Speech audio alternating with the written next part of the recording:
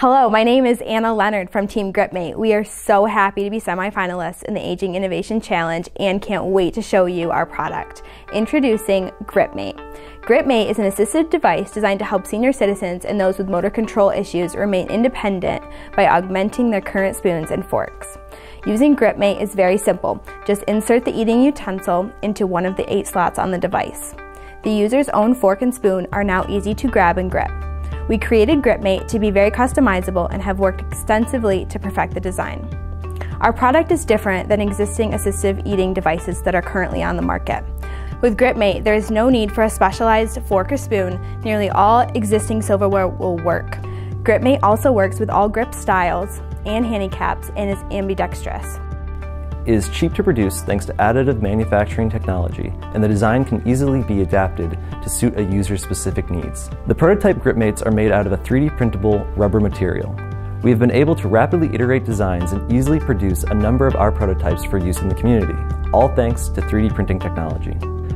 While using a 3D printer to produce our product on a small scale is feasible, we plan on having the device injection molded as demand grows.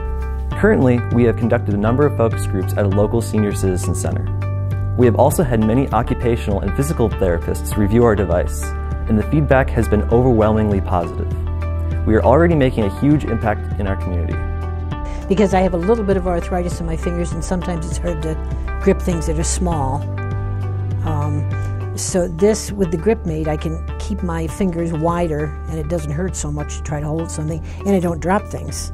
I think there'd be a good market for it, personally, and uh, I think I know people who would find it very useful.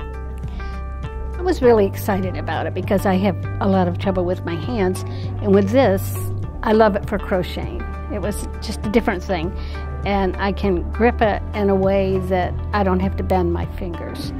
And I took it home and showed it to my husband, and he was excited because he stuck a paintbrush in it and started painting with it because he has the same problem. So we were really excited about that.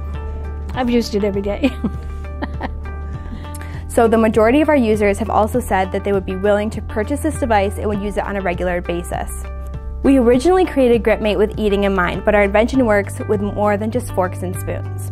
GripM8 also augments many other utensils of daily living, such as toothbrushes, pens, pencils, and lots of other things.